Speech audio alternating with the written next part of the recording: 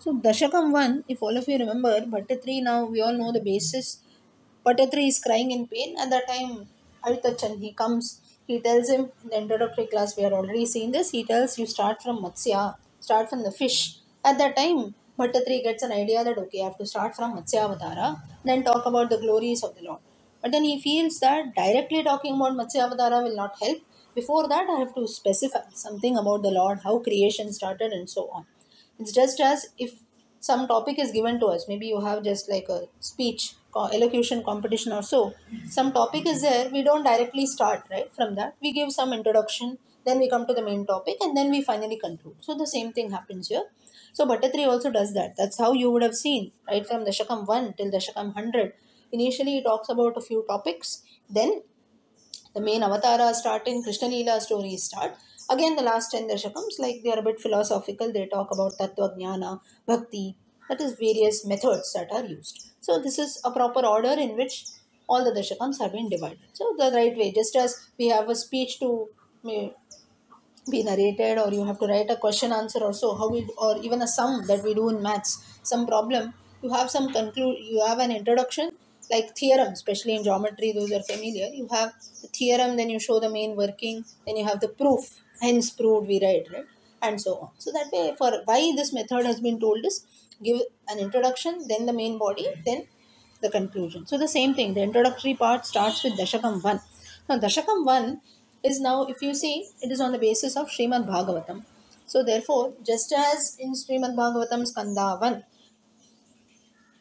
Shuka has described the same way Bhattatri also has described. So Bhagavat Swarupam Mahatmyam cha, meaning the form of the Lord and what is the significance, Bhattatri writes here as per the Bhagavatam. So make a note of this.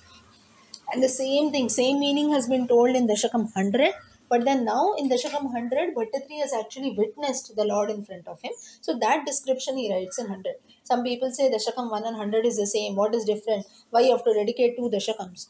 There is a difference. Dashakam 1 is as per what Bhattatri had read in Srimad Bhagavatam. That he has interpreted. Dashakam 100 is he sees the Lord Himself in front of him, and that description, that experience, he says. That's the reason he says. He says, I cannot express, my hairs are standing erect. I cannot believe that I'm seeing the Lord in front of me. But at least, luckily, because he was Bhattatri, he at least stayed there. If it was one of us, we will run away. Even if the Lord comes in front of us, it's he we will never say Agre Pashyami.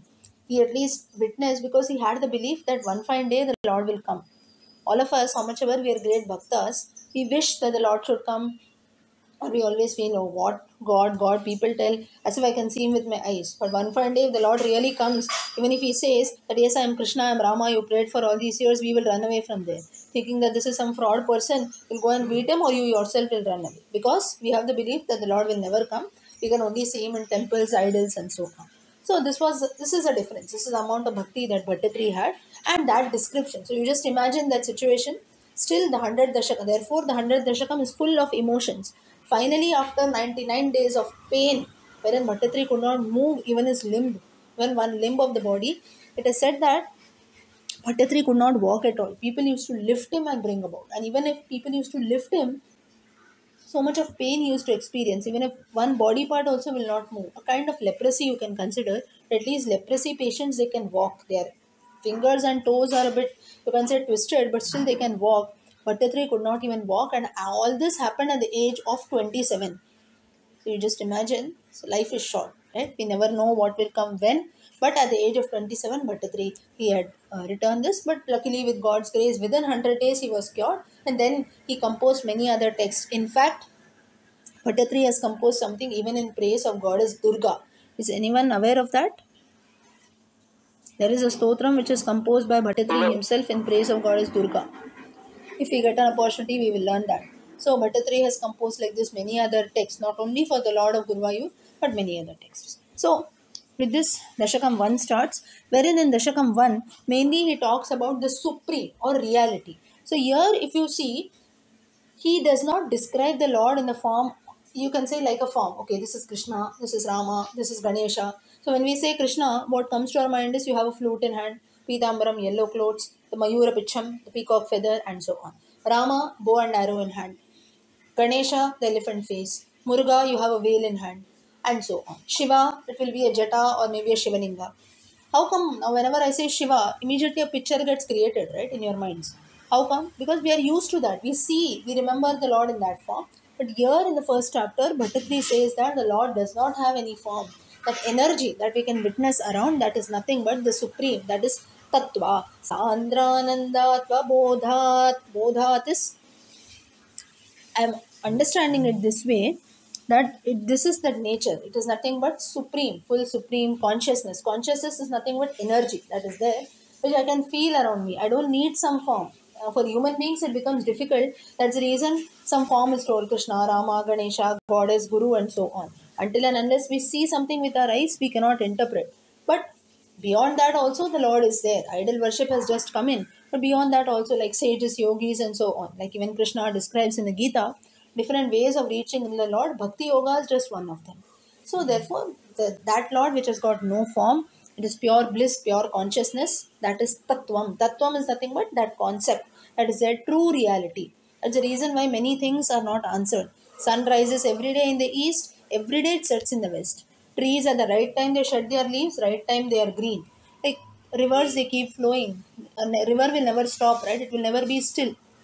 It has to flow continuously everyday things happen the moon rises at the time moon sets never ever the nature is disturbed like this there are many of course there are many scientific reasons beyond that also things do lie on hope so that hope faith is nothing but tattvam so therefore here what bhattatri says is tattavad bhati sakshat guru pavanapure hantabhagyam janana so here he says that this very form of supreme consciousness reality whatever people call i can see that in front of me in this image of the lord of guruvayur now bhattatri was sitting exactly opposite the main sanctum the main uh, shrine of guruvayur so therefore he sees that whatever people say all this is reality consciousness supreme all this tattva that is there that I can see in front of me in this image of the Lord of Guruvayur. And this is nothing but Hanta Bhagyam Janana. Bhagyam is good fortune of people.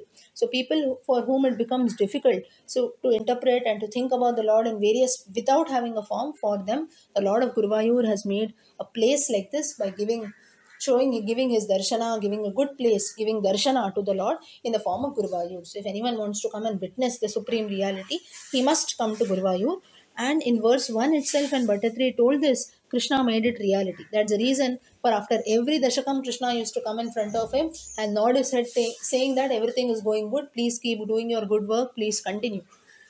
Why Krishna did this? to assure Bhattatri that what he was doing is right. Secondly, Bhattatri got a belief that someone is listening to what I'm doing.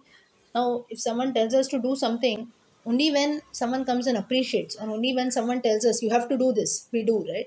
On our own ah, okay let me see i'll do it tomorrow i'll do it day after we keep postponing. So therefore krishna did this to assure bhattatri that yes i'm listening to what you're saying. With this bhattatri got a hope. He got hope that i will surely be cured Second objective of the Lord coming and nodding his head was after Bhattatri, crores and crores of devotees are going to learn the sacred text. They will also be freed from their worries. So Bhattatri is like a medium. Just as Arjuna was a medium for the Gita, Narayana, Bhattatri is a medium for Narayana. That's the reason the Lord himself came there and used to nod on all the hundred days to tell and to show the world that, show Bhattatri that what you are doing is good, please keep continuing. So, with this verse 1 concludes. Further,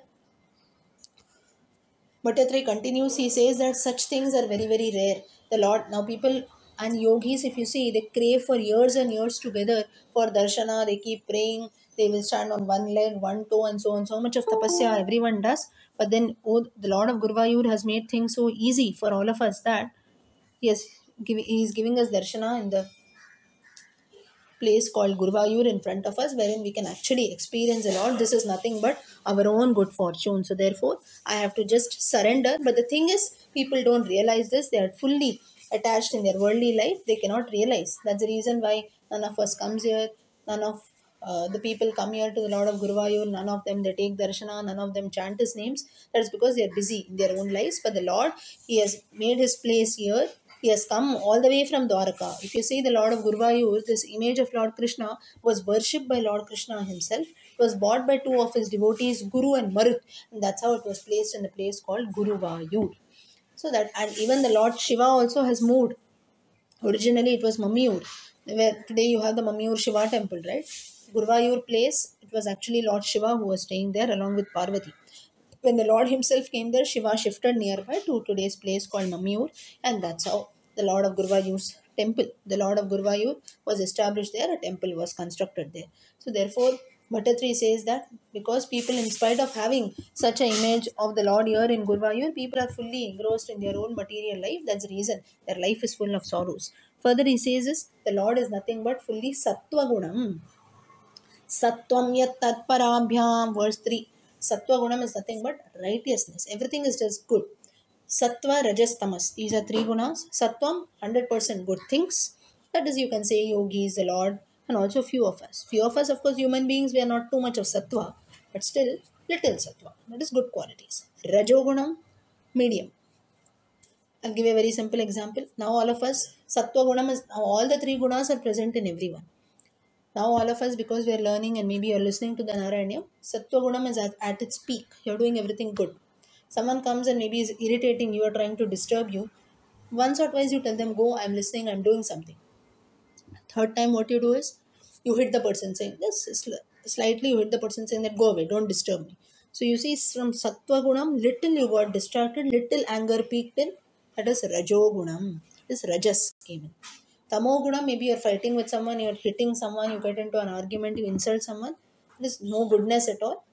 You go away. So basically, Rajo Gunam you can consider as tit for tat mentality. Most of the human beings come in this category, but we have to always aim towards Sattva Gunam. Bhattatri says the Lord is full of Sattva Guna, fully pure. There is nothing which the Lord doesn't have. Right? That's the reason I told you this, I don't remember. Rukmani herself once, when she playfully asked Krishna, Whom do you worship? You must practice what you preach. You tell everyone that you you have to worship the Lord. You told Arjuna also regarding Bhakti Yoga and everything. You yourself are not doing. What is the use? Then you like you should also worship, right? You must practice what you preach. Then why you are why do you tell others to do things. So then at that time, Krishna was in a confusion. He felt that what she is telling is actually true. Then whom should I worship? Because there is none, none who's beyond me, right? Who's greater than me. Now this was not pride again. Then that is the ultimate truth. So then, um, but then Rukmini says this. She told it very playfully. But then Krishna took it seriously, and that's the reason the Lord of Guruvayur, the image of Guruvayur, is said that it was worshipped by Lord Krishna himself. He used to worship himself. Now, this is like not like Hiranyakashipu, wherein Hiranyakashipu built temples, he told everyone chant Hiranyakashipave Namaha. It is not like that. But then to show to the world that worship, bhakti is very, very important, and therefore for the Lord also there is none who's beyond him, but still he has lived like a man. That's the reason when he was Naravatara, he did in the form of Rama, he did Shiva Puja many places. Krishna also, if you see, they had the Govardhana Puja and so on. Lord can very easily say, I am the Lord, why should I do? But still, even though he knew that he ruled over everyone, still during that avatara, he has uh, done the proper duties that are there because looking at that, the world is going to follow. So therefore, Bhattatri says that there is none beyond you, there is nothing more pure, uh, fully, full of Sattva Guna. This has been told by Vyasa. Why he says Vyasa? Because Vya- Narayaneeyam is a condensation of Srimad Bhagavatam, which is compiled which is compiled by Vyasa, all the Puranas. Srimad Bhagavatam is one of that. So therefore he says Vyasa and many other sages. They have told this again and again. And this entire Narayaneeyam, it is very much, you can say even to the ears also, it is very peaceful to listen. And just by looking at you in your form at the temple of Guruvayur, people will be very, very happy when they come here. They will experience only bliss and happiness. Further, he says that you, you cannot be changed at all. You're ever full that is no changes can be done. Your grandfather also worshipped krishna you are also worshipping krishna your future generation will also worship krishna right? No my grandfather used to worship krishna without a flute. I am worshipping krishna now. Recently i got to know that krishna also has got a flute. And tomorrow you see you know krishna doesn't have a flute. He has something else in his hand. This doesn't happen right? Right from the time of krishna avatara krishna is known with the flute. Today also we know the same form. Tomorrow also it is going to be the same. That is changeless. The lord is never going to change and this is people say that anshavatara anshavatara purnavatara in verse number 4 if you see kasma no nishkalastvam. Nishkala is nothing but purnavatara so krishnavatara is purnavatara why purnavatara because the lord though he was born now what's the difference between ramavatara and krishnavatara ramavatara rama was born as a man. Krishna krishnavatara krishna was also born as a man but then at many instances, he tried to reveal himself as the Lord. That's the reason right from the time he was born, he showed his divine powers. He killed Putana, he killed Chakrasura, Tranavarta, and so on, right? Whereas Rama did not do that. He behaved as a human being only. That's the reason now when Sita got abducted, if he was the Lord, he could have shown his powers, right? He could have immediately gone, maybe shot an arrow or something, bring back, do some magic and bring back Sita. He didn't do that. He cried for his wife, he asked the mountains, he asked the rivers, everything he went about like a human being, normal human being would do. He sought the help of monkeys, he behaved like a man. Whereas Krishna Avatara is Purna Avatara, wherein the Lord was a man, but he revealed his divine form, divine powers also. That's the reason Bhattatri asked that why we should not even call the Lord's avatars as Amsha. Amsha is maybe Hanuman also. It's an Amsha avatara of Shiva. This one part of Shiva is present in Hanuman or even Adi Shankaracharya. So this is the difference, whereas Krishna is none but Purna avatara of the Lord himself. Further, he says that Bhattatri says that you are the one who is not born at all, but still for the sake of your sake of your devotees, you take avatara again and again. And what you do is, but still you are fully pure. That is unlike human beings. When we are born in this world, we get attracted towards different things. We are afflicted by different problems. Also, you don't do that. That is, you are not affected by Maya. That is there. You are fully sattvic. Therefore, and this happens at the time of creation when the creation of the world has to start in you are fully your form is free from maya and if people also worship you in such a divine form in the form of lord krishna this form of lord guruvayur they will surely attain vaikuntham further your form is very very fresh wherein goddess mahalakshmi also resides in that lakshmi nishankalila nilayana verse number 6 Lakshmi, the goddess Mahalakshmi also resides there, and your form is so fresh as if the rainy season is just about to start. Clouds are waiting to pour their rains. This is your forms. That's the reason why I feel so blessed. Further, he says that for you, this creation that is there is a very easy game. That is after Yoga Nidra. When you're sleeping in Yoga Nidra at the time of Pralaya, when the world is about to end, then you start Brahma, with the help of Brahma, you start the process of creation for you, it is very easy, but then it is actually leading to the sufferings of human beings. Why he tells us this? Because he was born and he is suffering now from a grave disease. That's the reason why Bhattatri highlights. And this is the reason why all of us also have various problems in life, right? So, but then, so creation, if someone is born, he even is going to have troubles, sufferings, and so on. But then, Bhattatri here, very beautiful meaning, he says in verse 7, Kashta te srishti cheshta. Bhattatri says, I used to feel till some time back that this birth itself is a great suffering. Why am I even born? Sometimes we also feel, right? Why am I even born? Should I am I born to just suffer all this? It's better if I die, right? Or if it's better if I was not born. Such thoughts do come to us. But now Bhattatri says that no more it comes to me because this human form has been given. No che jiva madhurataramidam he says that this human birth has been given to me to enjoy the sweetness and beauty that is there in listening to your stories, to coming and visiting your temples, and finally to behold your form in front of me. So, therefore, so, and therefore, Pitwa Paramarasa. Paramarasa, this is going to give me ultimate bliss, ultimate happiness. So no longer I feel that my life, though other sufferings, troubles are going to come, for me, the higher side, or you can say the list or uh, the ba- if there is a balance if you compare between sorrows troubles and good things that happen for me always the good things or experiencing your beauty experiencing the rasa that is there that will be on the higher side so therefore now onwards though i am suffering my life is full of sufferings still i will not consider my birth to be a curse at all. I will consider this human birth to be a blessing. So this is a very very important verse. From our life also we must always look at this. Everyone has got problems everyone has got troubles. But then there are so many other good things that happen. Maybe all of us we come together we came together right? This itself is a very good thing. We came to know each other. This there are so many things that happen. So always look on the bright side of things as we say the grass is always green on the other side. Same thing bhattatri explains here. Further he says that namranam sannidatte namranam. Being humble those who surrender on your feet those who just come and pray to you without asking for any desires you always bless them. Because you're like the parijata tree. Parijato, Niravadika Palaf Parijato, Hare Tvam, verse number 8. Parijato, just like the Parijata tree.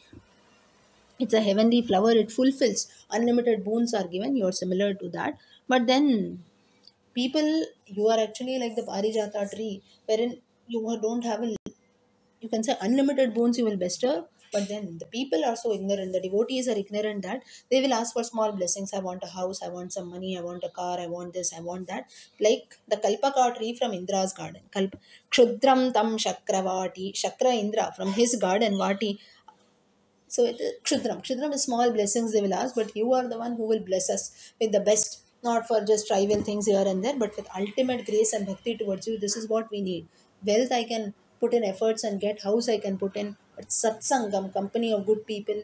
At the same time bhakti or happiness or positivity peace of mind. All this is something which i ultimately need. No use of having wealth this that and everything if i don't have happiness and bliss. So Bhattatri said tells that people don't understand this. They want they don't long for Paramananda. They just long for small Kshudram. Kshudram is small blessings from the Kalpaka tree of Indra's garden, unlike the Parijata tree from your garden in Vaikuntham.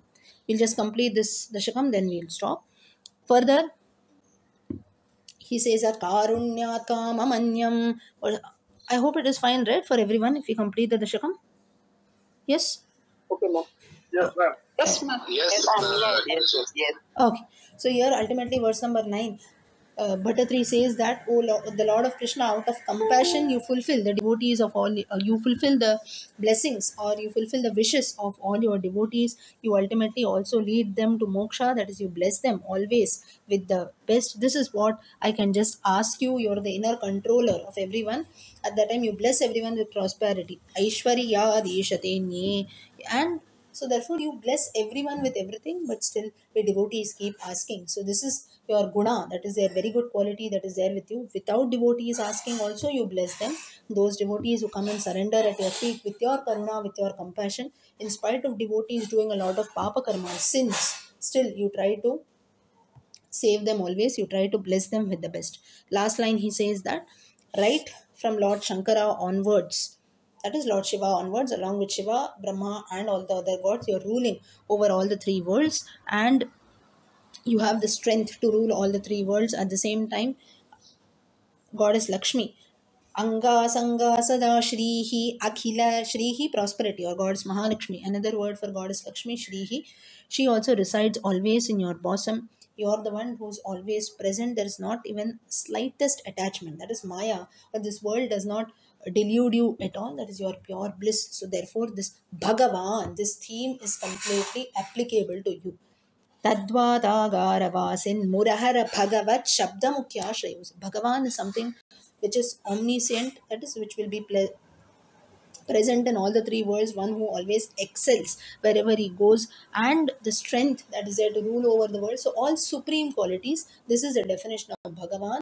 The first chapter is Bhagavat Swarupam Mahatmyam Cha, first Dashakam. So, you truly are a person who has all these qualities. Therefore, rightly you can be called as Bhagavan. With this, Dashakam 1 ends.